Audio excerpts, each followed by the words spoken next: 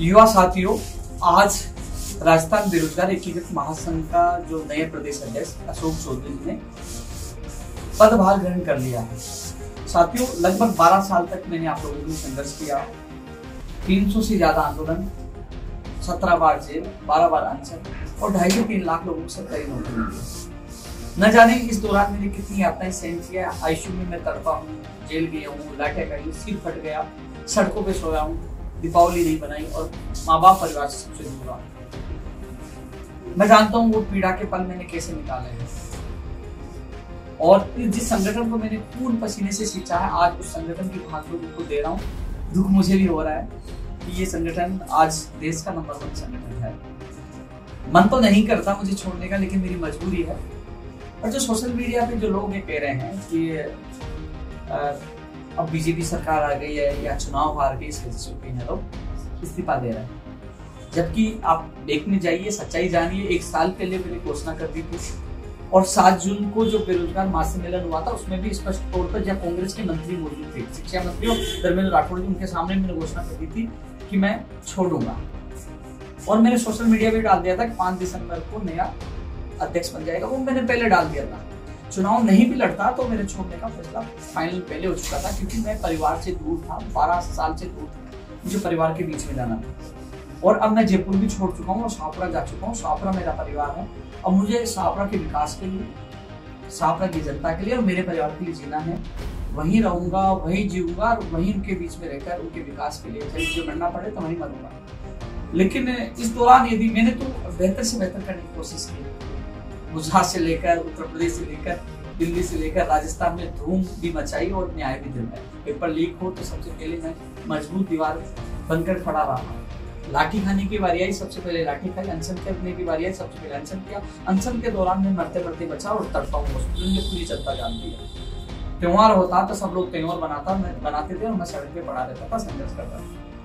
लेकिन खुशी इस बात की है, विधानसभा चुनाव के दौरान मुझे छापरा में काफ़ी लोग मिले और पूरे प्रदेश में ढाई से तीन लाख लोग सरकारी नौकरी लगे गए। इसलिए मुझे खुशी है कि बारह साल का संघर्ष व्यर्थ नहीं गया। तो अशोक भाई को भी शुभकामनाएँ और इनको ये कहना चाहूँगा कि आज तक ये संगठन इस पर कोई भी आरोप नहीं है। और इस संगठन पूरे देश में ये राजस्थान बेरोजगार महासंघ सबसे बड़ा संगठन है, जिसकी ताकत से सब लोग घबराते हैं। इस संगठन को निष्पक्ष रखते हुए युवाओं के लिए अग्रसित रहें, उनके लिए संघर्ष करें, उनको मैं शुभकामनाएँ देता हूँ। और जो युवा कह रहे हैं कि हम संपर्क कैसे करें तो अट्ठासी पिछहत्तर दस ज़ीरो छ डबल ज़ीरो, ये इनके नंबर है। हमने मिक्स कर दिया इंग्लिश और हिंदी में दोनों ये इनके नंबर है। आप इनसे संपर्क कर सकते हैं और इस संघर्ष के दौरान मैंने कई पल भी देखे हैं और जाने अनजाने में कभी मुझसे गलती हो जाए, क्योंकि इंसान गलतियों को खुदला है तो मैं उसके लिए क्षमा भी चाहता हूँ। लेकिन मैंने बेहतर से बेहतर करने की कोशिश की और आने वाले समय में जब, क्योंकि जब एक तरफा बारह साल से आप मुझे देख रहे हो, जब तुलना होगी, क्योंकि ये नया है, ये संघर्ष करेंगे, लेकिन और भी संगठन और भी है। जब मेरे जाने के बाद आप तुलना करोगे तो एक दिन मैं ज़रूर कहना चाहूँगा, एक दिन मुझे बहुत याद करोगे। क्योंकि क्योंकि कोई भी अपने घर से आर्थिक तौर पर, मैं आज इस संगठन से लाखों रुपए का कर्जा लेके जा रहा हूँ। लाखों रुपए का कर्जा लेके जा रहा हूँ, लेकिन कभी मैंने किसी को नहीं कहा कि आर्थिक तौर पर मैं परेशान हूँ, दुखी हूँ। कई बार मैं रोड जब मुझे प्रताड़ित किया जाता छोटे जेल में डाला गया, जब आर्थिक तौर पर परेशान होता है, मैं रात को रो रो लेता था बैठ के, लेकिन कभी किसी के सामने मैंने मेरे स्वाभिमान को मानते किसी के सामने मैंने नहीं कहा कि मुझे सहयोग हाँ मेरे कुछ मित्र थे जो संगठन मेरा सहयोग किया, मैं जीवन भर उनका आभारी रहूँगा, जिन्होंने बारह साल तक कई मित्रों ने मेरा सहयोग किया, जो मेरे व्यक्तिगत मेरे मित्र हैं। और आप सबको ये कहना चाहूँगा कि एक अशोभी को कहना चाहूँगा, आप अच्छा काम करोगे और आप इतना बेहतरीन अच्छा काम करिए, युवाओं को इतना अच्छा करिए, जैसे मैंने अच्छा काम किया तो मुझे टिकट मिला, विश्व की सबसे बड़ी पार्टी से।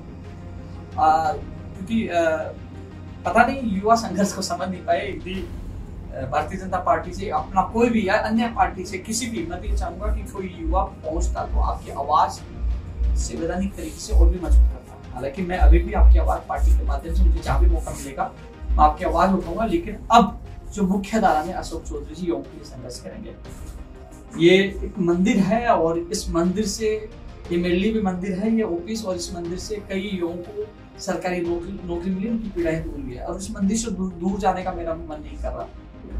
बड़ा उदास भी हूँ, दुखी भी हूँ, लेकिन मजबूरी है कि मैंने वसंत दिया है सावरा की तरफ़ उनके बीच में जा रहा हूँ और मैं जयपुर छोड़ चुका हूँ सावरा रहने लगा हूँ, यहाँ से मैं जा चुका हूँ। तो आप सबको भी शुभकामनाएँ, इनको भी शुभकामनाएँ, आप सब मिलकर लड़े और अपने सपनों को पूरा करें। धन्यवाद।